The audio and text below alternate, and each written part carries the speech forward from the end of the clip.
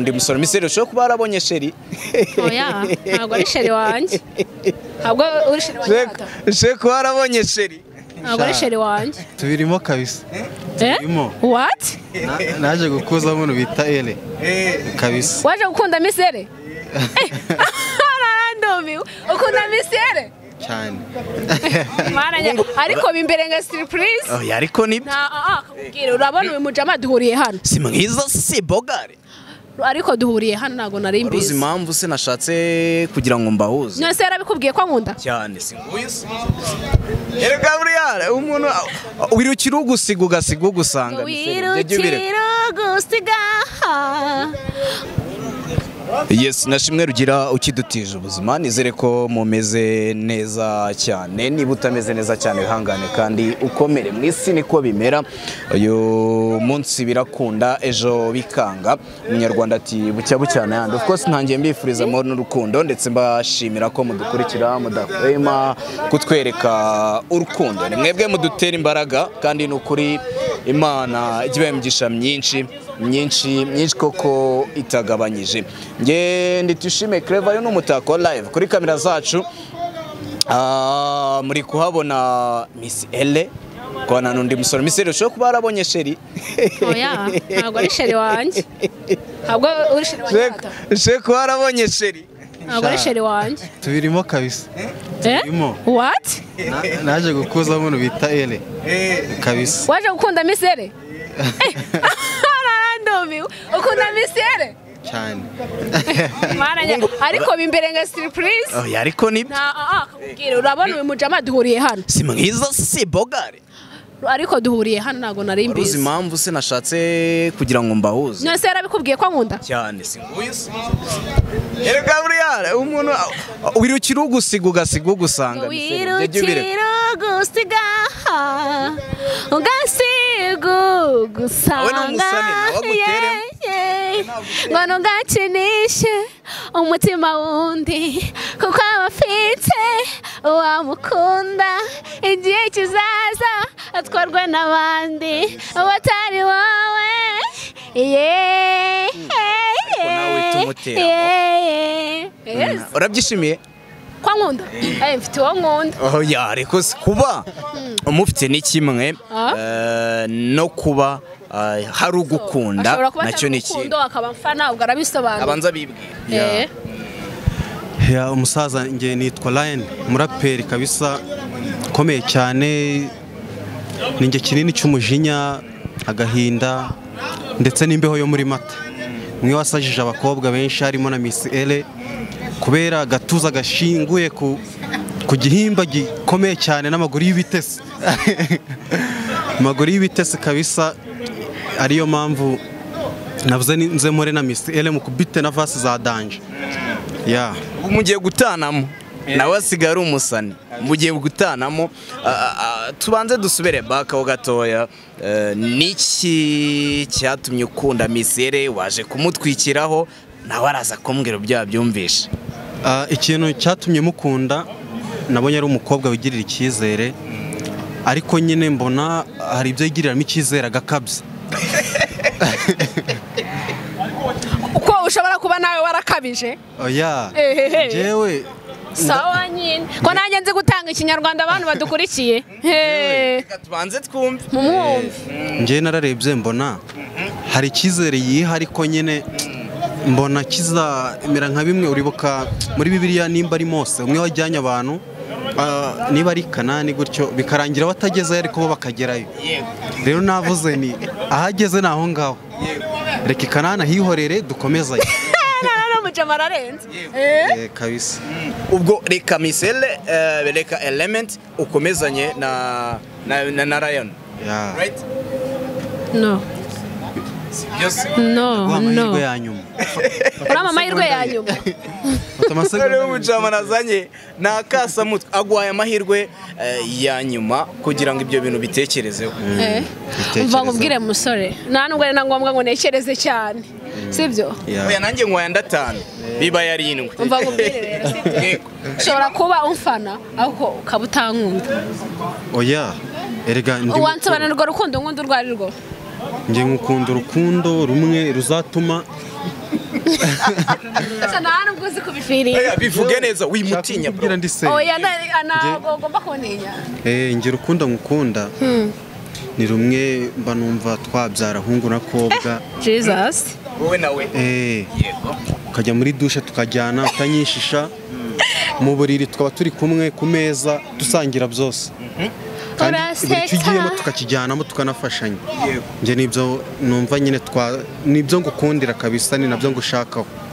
Apana bamwe bo kuza bakora hitandirani. Ibyo ntabwo ntibishaka kuri wowe kabisa. Yego. Urangije uhitamo misi ele arya ubundi risanzwe witwa nde mwana? Kwa muhawenimana josiane mutoto wa cyangugu. Cangugu cangugu gara urangije uravuga ati reka mpitemo uh, misi element.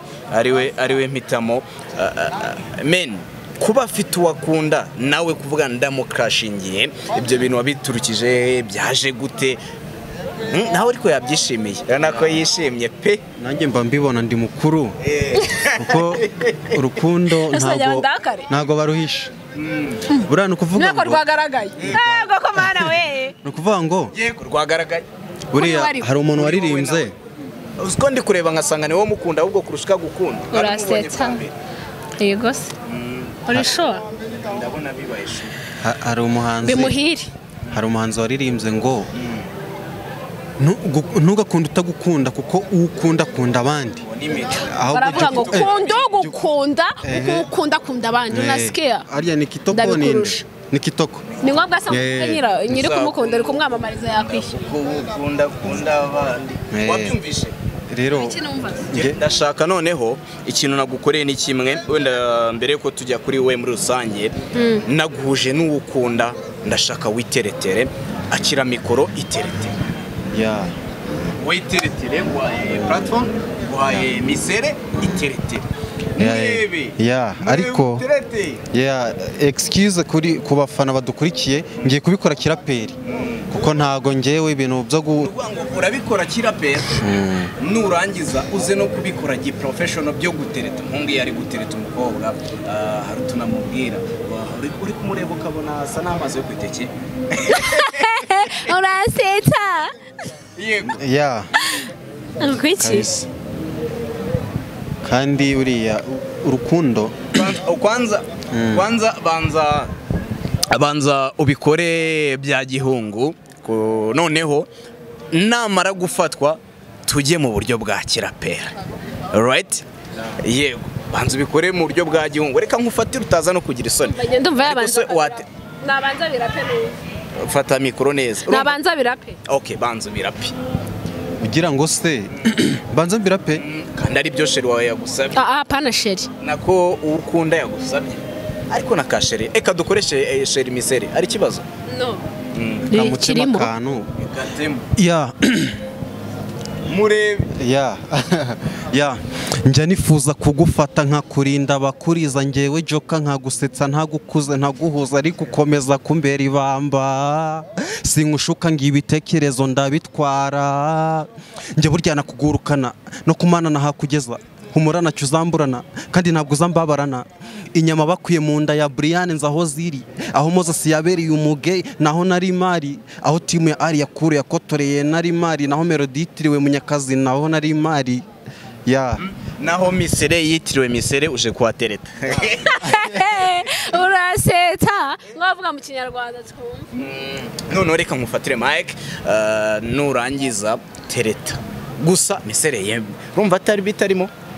Shaka gusa uno mujama afite impano Uramukunze? namubwiye ah Eh. mukunze nk'uko buri wese yamukunda pana bya wowe sheri ashaka urukundo rwatuma mubyara ahungu nako. Ntabwo urwo ruhari.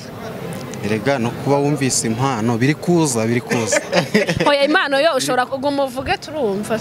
Ibaze walaye ugendera kuki ah, wowe uri guhitamo umusore ugutereta tureke ugukunda kuko ntabwo wamumenya. Iyo uvuze uti uyu muntu twateretana wowe ugendera kuki nkunda umusore wiyubaha.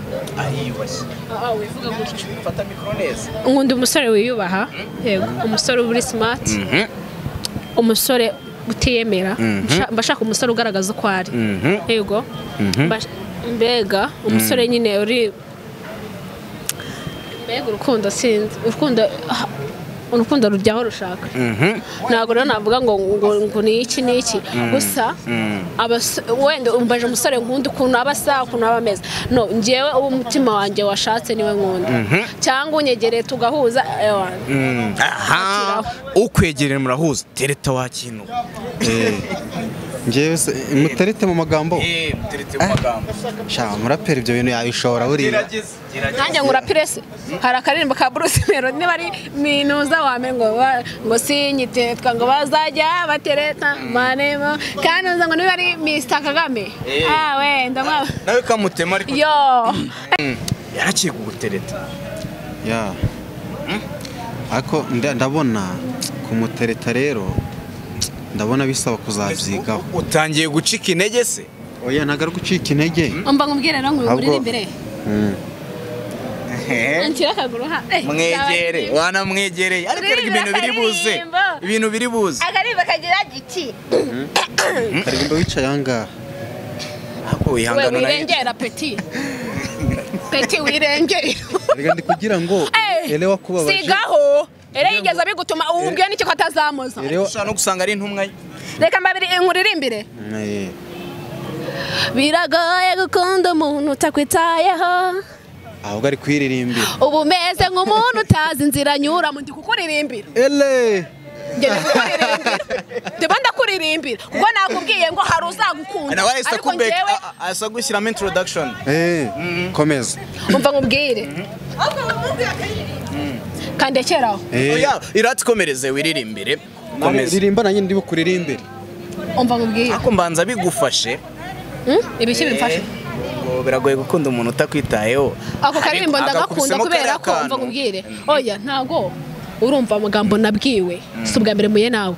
Yego uzi aho nabwiwe uzi nkitangira yego urumva uyu jama rwose uza wibaraguza ngo akunda misere ari we wankura mu byizerwa.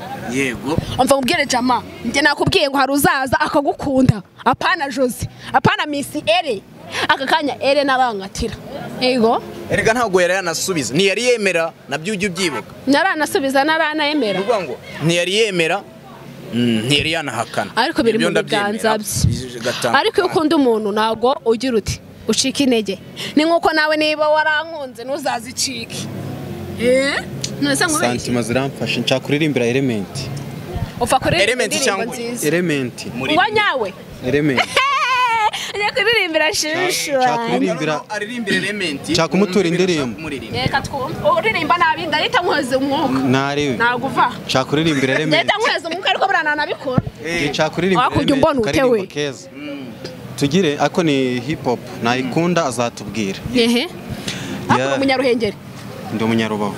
Ah, ari kujya ashyiramo akanyabubavu bavu bavu. Yeah. Ele kabisa stay tuning.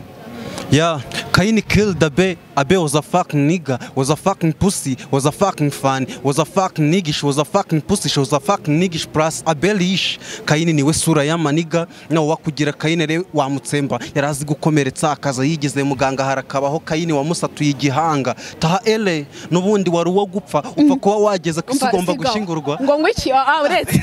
Uyu muntu ni umusazi. Umva nkubwire ah ah. Tutaba ubupfa hano. Umva nkubwire wa musore we shabujya nta mpano ikurimo mpano imurimo. Ngo rero umva nkubwire ibintu yakinisha nahita mva no mu kiganiro mani atazajya anakinira ku mutima wanjye maniga. Eh? Ngo rero ngo nuwo gu- ngo gira ute ere nuwo kubaho azahorana nanjye iminsi yose. Erega nanjye mani yinze kurapa? Eh. urumva? Ahubwo wowe oya sinavuga ngo uri uwo gupfa kuko wowe ucira abantu iteka. Ni- mani winjiye muri iyi gemu nabi. umuntu ushaka kumbabariza sheri ngo apfe? Erega nese njye kari kumbabaza. ari kukubabaza? Ari kukubabaza ate? Ese nyine niba yagukunze ari kukubabaza. Mani reka bino bintu tubigire basi suri seriye tubigire seriye yani ukuri ari seriye bro. Umva mubwire jama ni ubwa mbere muye nawe. Ni ukuri pe mbikuye ku mutima ni ubwa mbere muye nawe. Yego. Nk'uko ujya ubibona wavuze ngo urankunda wenda uramfana katubere ko tubivuga. Oya ntago agufana. Eh, re- reka none Rero njye ndamukunda. wari uzi intandaro y'iki kiganiro? Kandi none njye nyikwibwirire.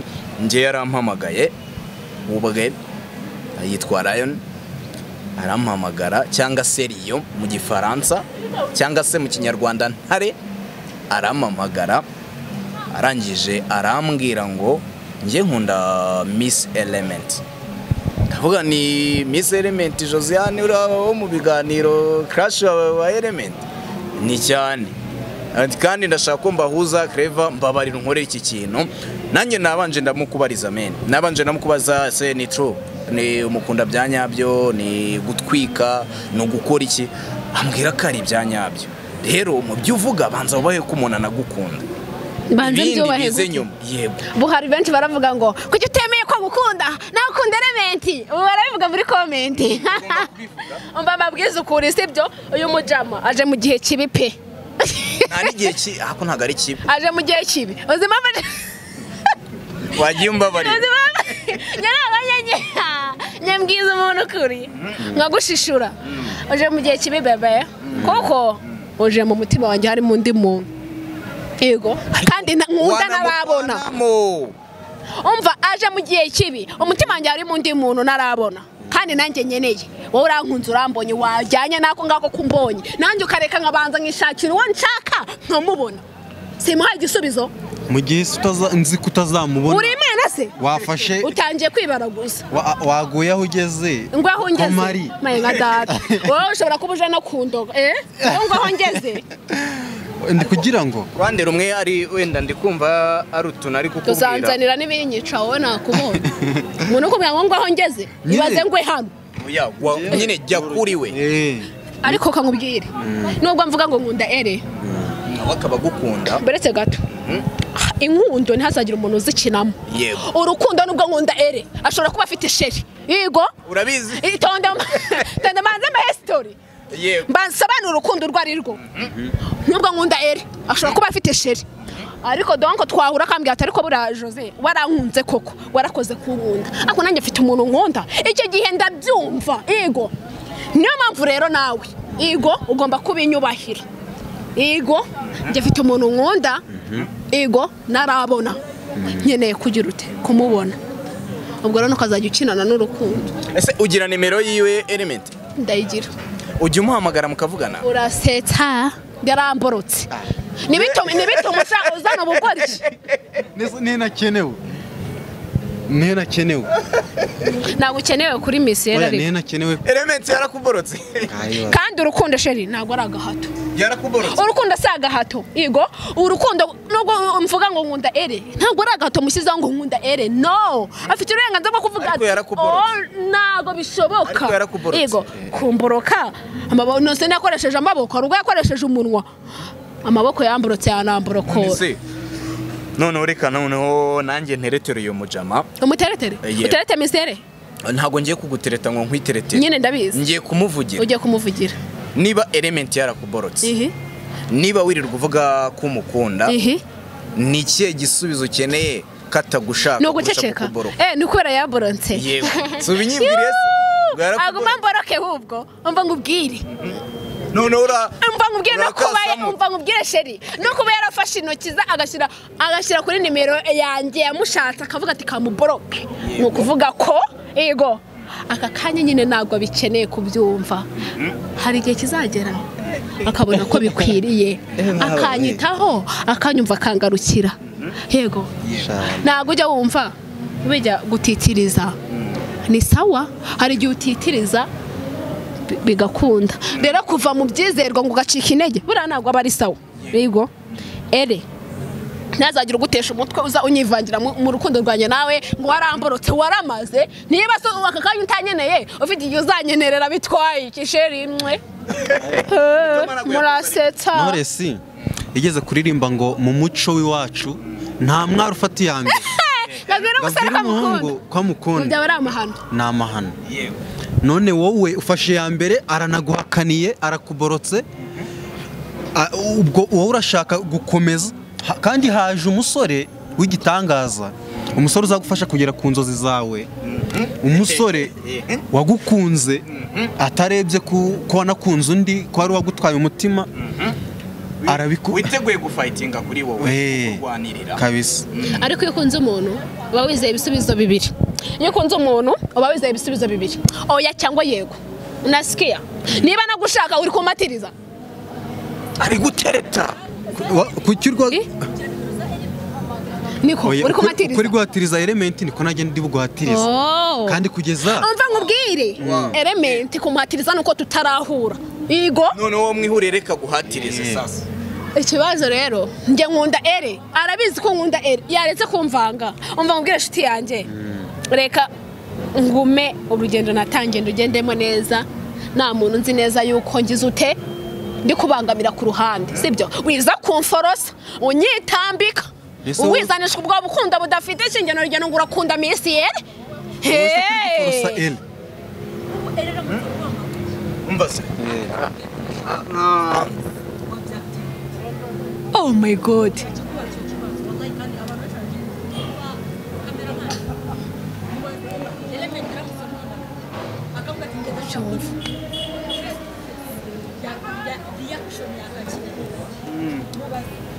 Uri kumva mani ari ntabwo imitoma yari yafata Ah, urasabwa gutereta none igafata ibaze ibaze gutereta urumva wafashe decision ukunda umuntu ah, ufite uwakunda sha warayobye pe. uzi neza ko Elena musariye baretse mbaza nkubwira uno musore ashobora kuba yaranasaze. Uti gute? Impamvu yasaze. Simbizi neza tunari kumwe wa musore we. Ni gute uzi ko nasariye umuntu no kuri kamera ndabivuga ko nashobora kumukura mu mutima wanjye? Nawe uje wibara gusa ngo urankunda. Si ukumbangamira koko mu by'ukuri? None se wowe? Waretse kumbangamira wa yakugorotse, mujama we. Ahubwo ko duhuje ibisazi waretse tugakomezanya. Ko yakuborotse ko yagize ate? Ukaba ugikomeje. Kuki njye nacika intege? Kuri ngezi kandi njye ndi kuguhakana. Ngo muhuje ibisazi uri kumva Eh, ngo muhu- muhuje ibisazi mbabwira ikintu nakubwira ngo umunkunde Amfatira mikoro ijwi ryawe rize neza. ngo umunkunde nawe nzaguma nikundire ere maze ndebe uzababara uzababara kwa ele bizarangira n'ubundi duhuje kuko Eh, nzababara kwa ere nawe ubabare kwa misi Twese ere turabasazi. Eh, Naragusariye, urasetsa ni ibyo bintu binajyanye yaragusariye nsarira ere Eh, ngo naramusariye. Hindukira rero. Sinzatuma ubabara ngo nibikiri ibanga hindukira sinzareka bakuntwara ngo bebe ni wowe mo bebe. kora hano ku mutima. Oya. Urahari. Babarira wumve. Aya, Karen. urahari. Ntabuje ko eh, ashobora kuba aje kundoga eh. Wakora. Oya, usanga aje no kundoga abantu b'iki gihe nubazi babarira kuri hano gusa wowe. Basanga yaravuze ati ubwo akunda eri kanze muhitane. Uzi ikintu bita heartbeat. Niki? Ukuntu umutima utera. Gukora ngo ku mutima hajya eh, ni umwe wagiye hanze hajya nini? Um, ushatse warembera ngo oya ni ku mutima utera. Nguru Ben. wanjye forever. Ni the ben ni me ni nde? Mugisha benjamin. The band the ben. Ni ku mutima utera. Nguru wanjye forever. Ewe Eh, kandi Gusa rimwe. ariko wagize amahirwe yo guhura nawe. Ariko ndabona gutereta noneho byakunaniye. Ya twe urumva ntago abaraperi tuzi ibintu byo gupfukama byo kugira gute ntabwo turaza tukakubwira. turaza tukakubwira bimwe byo gutera amavi ibintu by'ibiki ibyo ntabwo twe bikora Yego. turaza tukakubwira ubwo nyine wabyumva tuba tuzi ko n'ubundi utanabyumva ukabireka Ah, ukipowera ukabyihorera reka twipowere. Ukabyihorera n'ubutaha nkagaruka ubundi reka twipowere. Byakwanga nkajya mu bindi. Reka twipowere ahubwo nshisheni cyane ko iyo atabyumvise bafite ahantu ngenda nkandika imirongo yanjye ubundi urumva umutuzo wanjye ni hip hop ubundi nkatuza nyine nkakomeza nkateretana na hip hop ariko ongera umutima nk'akandi kantu man. Ongera umutima nk'akandi kantu hari igihe none hari nako gashobora no kumukurura. Ya kanuririmbira akaririmbo. K'imana keza ya ni eh, ni hip hop Mm, urashaka urashaka urashaka imana urashaka iy'urukundo wowe waririmba ibyo uririmba man. Tereta uririmba ku rukundo ya. Ndashushewe ankozeho ibintu rusi irashibutse Abaye nka data. mbese kurume imwe yimije ariko nge niyemeje kurwara back part y'umubiri wanjye ariko dukora urukundo ndakaji k'inkorokoro budamo iminopfu ndimbata nshyire borofire ngiye gutwara igare rya kankasimira ikwire tandukanye imisoto be nkubere shukarava nawe penisa mbaragira babu turanywana. Ngiye kubiza ikaramu itukura mu mashuka. Ecavini izo nzuki mu mutiba w'agakobwa. Nkurikiye umuraho w'igisebe gitangirwa inka aho umusore agera mu minota agahinduka imbwa. Nane nka yica uwicaye ndanyegera uwaryamye ikuzimu banywa amaraso batega igikombe. Cyo basoke nziza itara ndicomeke ryake ndarambura umusare bebe turakina sayi. Umwobo niba ari akarimbi ku isi ndahasezera mba umufana w'icyaha kubatizwa n'ibizashira. Misere wawu wawu ahangaha uramukunda pe. Umva mubwire biri ko biraza. Ese kuki nkundisha ko umuntu biraza? Navuze. navuze. Uno mujama afite impano. Yego. Ibyo ni byo mucamu namubonyeho. Ese bite kuri gutsindagira urukundo umva nkubwire buriya gukunda umuntu uzi neza ko akunda undi ni ukuri ni amakosa wenda ere sinzi neza ko ko afite undi muntu akunda. Na- ariko wenda nda- ndabyiyumvisha we azamukuri twahuye. Urukundo ntabwo ari uguforosa umuntu sibyo we Ikintu nshaka nzatuza kuzagukorera nshaka kuzakujyana rimwe mu gitaramo element arimo nkamukorera nkavuga ati "Byi- byivugire nibishaka bite birangira. We nishaka ubi- ubivugire kuri byivugire nibishaka bihite birangira ngo bivane mu magambo bishyire mu bikorwa. Niba koko nkunda. Misore turi kugana ku musozo. Eh? Ah, ndabeshi musa turi kugana ku musozo. Ariko se niba umuntu waje gutereta yakwanze hagiye gukurikiraho ikimahini hagiye gukurikiraho ingumi n'imigeri. Ndumva hakurikiraho ibitaramo. Ndumva hakurikiraho ibitaramo kabisa. Mm, ahubwo- ukajya murarana nk'amajoro cyangwa se eh. Oya. tukaririmba tukizihirwa umwe agataha undi agataha. Misira ashaka kumuhanzi nta kuntu none mwebwe mwafatanya muba babiri ko hari igihe byazagera ngo mugakundana amana Eh, oya ntabwo twafatanya ahubwo ngewe nimba ashaka kuba umuhanzi umwaka utaha nzamukorera audio. Eh, niyumva bimurimo. Nyamara bizarangira umukunze uvuze? Niyumva ushaka kuba umuhanzi njye nzagukorera audio. Indirimbo mu buryo bw'amajwi ariko nanjye ijwi ndarifite. Nyine avuze ko nujya kuri kodinga kwa elementi azayishyura oh my god! Azanyishyurira yego. Arasetsa. Arabisetsa. Eh, eh, uzishyura audio. Twanga abatwi- wayikorera muri amerika wayikorera muri Ura- ura- ura- urabibasezeranyije abakunzi bacu. Badukurikiranye. Oh byiza. Bibiri na makumyabiri na gatanu umunsi uzumva ikibazo indirimbo ntabwo ya na mbere. i- i- iyi ndirimbo ya mbere ngiye kuyisohora muri iyi minsi. Muri uyu mwaka. Niyo tabi ya mbere umujama uri kuvuga gutya kurekura umufungo miliyoni. Elementi akora miliyoni mene uri kumva niba Eh, eh, sheri wa nyuma hano aratwika Niba- Ah, irenze mu rwanda we. Ntabwo ari wenyine na kizi yageze kuri miliyoni. urasetsa Kizi yageze kuri miliyoni ni ukuvuga ngo niba avuze ko elementi akora miliyoni iyo nguyu akaza bayishyura amana y'umujama urumva bamuzana iki sindi kumuterekera ariko ndi kurebera mu mu bintu mu buryo bwa fagiti umva rero aba ni ba bandi bavuga utuntu batazasohora. Umva mubwire wa muntu we niba iri jambo rigucitse. Nyaboneka sigaho. Buriya kankubwiza ukuri. Njye sinjya menya kuba navuga ikintu nazasohoza. Mvuga nzaguha iki nazakibona? No. Mvuga ikintu nzakora. Mva mbwira inshuti yanjye niba bikurimo uzabikore nta kibazo. Kuko ntabwo ari byo byatuma nkukunda erega mm, mm. urukundo ni uruba ruri mu muntu. nkunda abantu bafite impano Oh. ba- banitinyuka niyo mpamvu ntago ari ukuvuga ngo ni urukundo Kora hano. No kuba mukoze mu biganza se ntibihagije. Hmm. No. ko nawe uba ufite akiryo n'akagira se Eh, eh, eh, nkunda yere. Kutakoze ku mutima? Mutima. Banze kumva heartbeat. Urasetsa ok turi kubona ku musozo. Ngo bitugize gutya ukajya kubona element araguhamagaye arakubwiye ndashaka ko duhura nk'uko wahuye n'uyu mujama byagenda bite? Mani iyo iyo. Hajya ngo eh ko nangiye kurapa. Umuntu akiyambura ubusa iki? Umuntu yiyambura ubusa aba yasaze. Ntiwavuze ko wasaze. Umusariye nyine. Ngo nara ah tandukanye ibintu wakintu byo inshingano iki?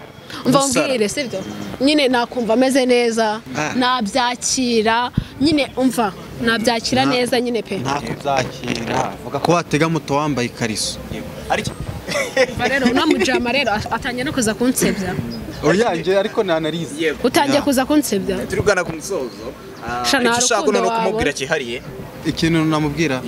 Sha nakomeze uh, icyizere yifitiye. Akunde ere? Akomerezaho ere nta kibazo na ele mukunde. Nawe agukunde nawe nawe agukunde nimba bishoboka. Eh, kandi nyine ntugasubira inyuma nyine gutyo komereza aho ngaho. Urukundo rwawe inzozi z'urukundo rwawe na element na miss element zigarukiye aho? Ya njye bira njye rumva nyine nta muraperi uforosa umva yewe mujye muri komenti uyu muntu nakasamutwe njye birarangiye ubwo nyine ndarekuye. Aka kanya mbonye misero ise nkunda. Ibintu ntabwo njye biba. naje naragukunze ndabikubwiye uramakaniye ubwo nyine ndajya gushaka ahandi nkunda gushakira ahandi wumveho. Sindi bimubwiye shakira ahandi wumveho. Okay basa reka mbashimire reka mushimire lion. Ya. Kuraje nanjye na byo usibye no ko waje gutereta. Kuririmba impano nziza Afite impano. kuraje kabisa.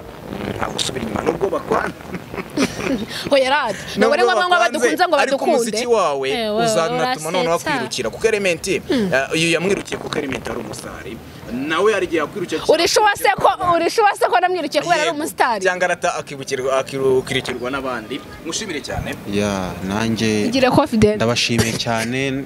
Haba wowe haba madamu ele sorry miss ele. Uwo wakunze. Ya ubona kunze akanya nga n'abadukurikiye ndabashimiye kandi nifuza ko bajya kuri youtube kuri channel yanditseho nitwa akarongo kamanuye cya underscore lion L-Y-O-N hariho n'idarapo ry'u Rwanda bazahita bayimenya kuko hari benshi usanga bafungura amacano ku ruhande.